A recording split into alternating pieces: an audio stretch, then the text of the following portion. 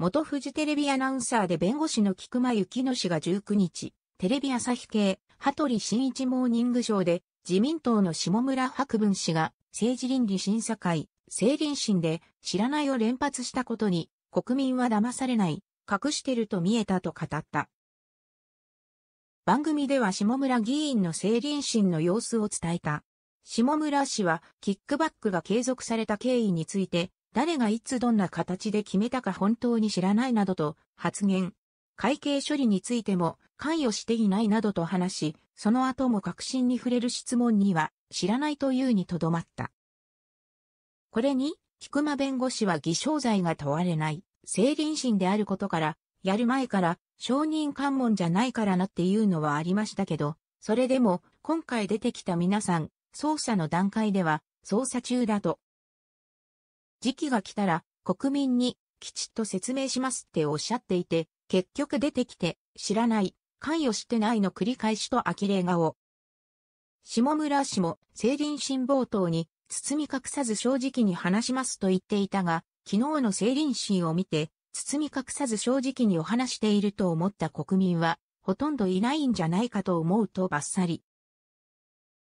自民党関係者の中には、この成林審で傷が深くなったと危惧する声も上がっているというが、菊間弁護士はもしかしたら、内輪ではよく耐えた、頑張った、これで、OK となっているかもしれないが、国民は騙されないし、結局何も言わないんだな、隠してるんだなと見えましたと、政倫審出席議員の知らないは全く信用していないとしていた。私がまとめたネチズンのコメントは次の通りです。この国大丈夫か？国会議員が自分の収支について知らないやなど言われているが、一国民として国会議員が自分の収支で知らないは、とてもチャランポーランでこの方の国政に対する姿勢もそうなのかな？と思う。また、下村議員ではないが、お金等のやりとりで、記憶にないや、秘書が勝手にやったことと言われる議員、こんなに記憶力の低下している人や、自分の仕事上、一番身近の秘書に自分の名を使って好き放題させていること。このような方々に国の重要な舵取りは危険と思わざるを得ない。それでも、まだ議員にしがみつく根性も、国会、もしくは与党議員なら何をしても良いの？政倫審にて真相が解明されないという意見があるが、当然だと思う。安倍派の方々が自身に都合の悪くなる発言をするはずもない。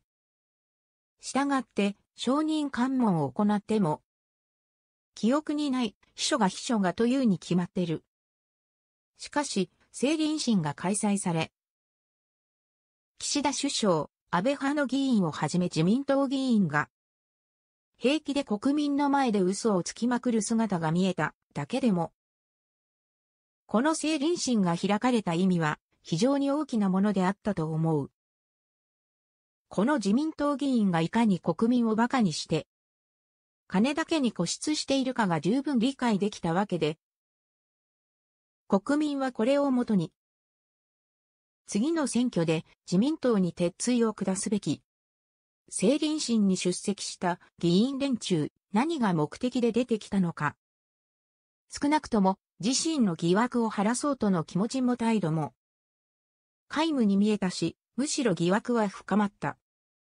つまり、この連中は我々有権者に超ピンボールを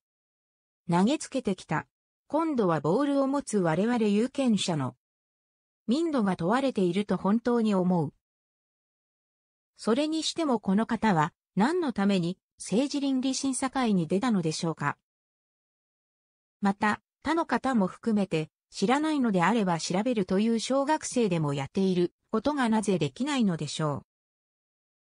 低レベルすぎて話にならないし、出てくる人のほとんどが疑惑増幅装置のように国民を煽っている。その目的は何なのか理解に苦しむ。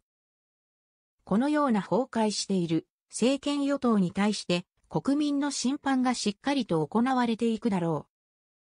検察が立件できなかった時点で公には白ですから、あとは次の選挙で国民が審判を下す必要がありますが、ところがところがこの国の有権者はそうならないのが現実です。